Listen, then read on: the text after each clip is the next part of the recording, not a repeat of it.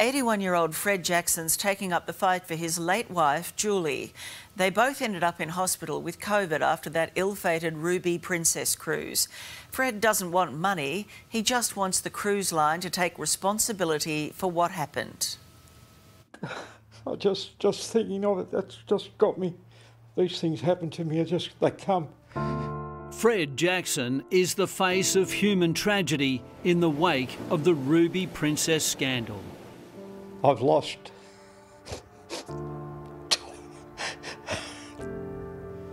time together, which we were enjoying.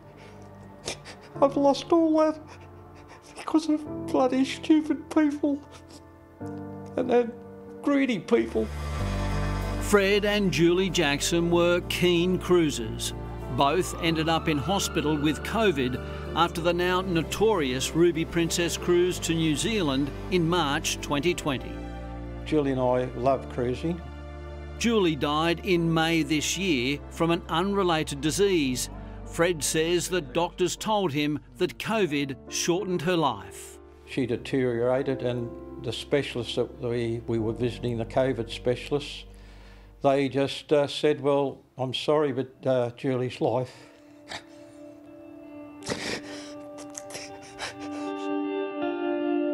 Eighteen months or two years, her life has been reduced.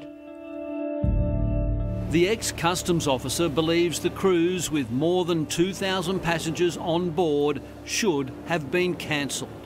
That cruise should not have gone ahead. In my mind, it was greed, it was all money, money, money, money. We're not going to stop this cruise. We're going to lose too many millions of dollars. The former first grade rugby league player is part of a massive class action now being played out in the courts.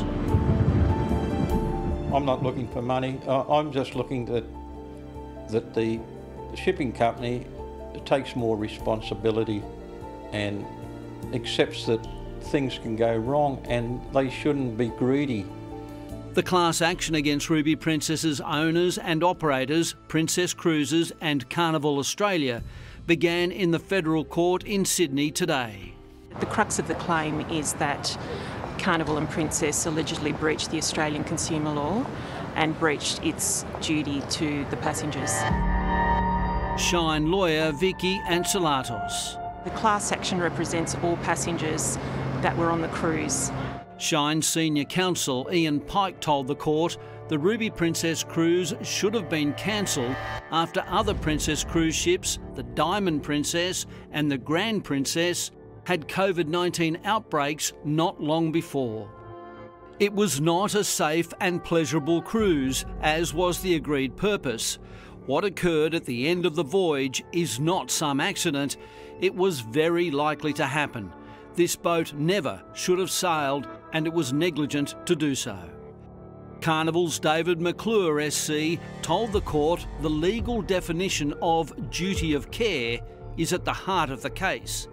He said on the date the Ruby Princess left Sydney Harbour, there was no requirement of the Australian government for cancellation of occasions where people would congregate.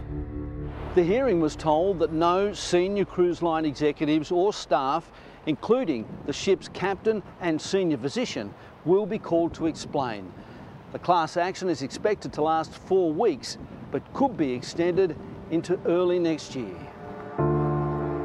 Fred Jackson just wants the world to know his story and hear what he says the holiday on the Ruby Princess did to his life.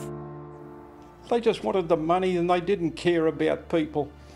So she'd be here today only for the COVID that she caught from the Ruby Princess.